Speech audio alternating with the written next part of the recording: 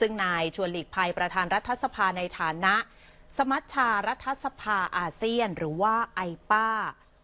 บรรยายสรุปภาพรวมเกี่ยวกับการเป็นเจ้าภาพจัดการประชุมใหญ่สมัชชารัฐสภาอาเซียนครั้งที่ 40 ที่จะมีขึ้นระหว่างวันที่ 25-30 สิงหาคมนี้ ให้กับคณะทูตานุทูต สมาชิกไอป้า ประเทศผู้สังเกตการรวมถึงประเทศผู้เข้าร่วมการประชุม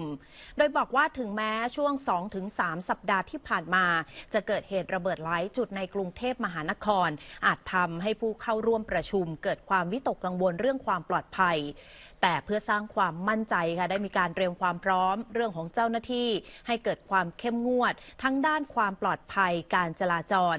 ซึ่งเวทีนี้จะเป็นการเปิดโอกาสให้สมาชิกรัฐสภาจากประเทศสมาชิกไอปาแลกเปลี่ยนความคิดเห็นในการแก้ไขปัญหาของภูมิภาคอาเซียน และมีวาระสำคัญคือการผลักดันให้ไอปาบรรลุข้อเสนอต่างๆ ตามที่หารือในการประชุมสุดยอดผู้นำครั้งที่ 34 อย่างเช่น การเปลี่ยนแปลงสภาพภูมิอากาศและการรักษาสิ่งแวดล้อม ลดช่องว่างการพัฒนาของรัฐสภา สมาชิกอาเซียน และการส่งเสริมบทบาทสตรี และความเสมอภาคทางเพศ การปฏิวัติอุตสาหกรรมและยาเสพติด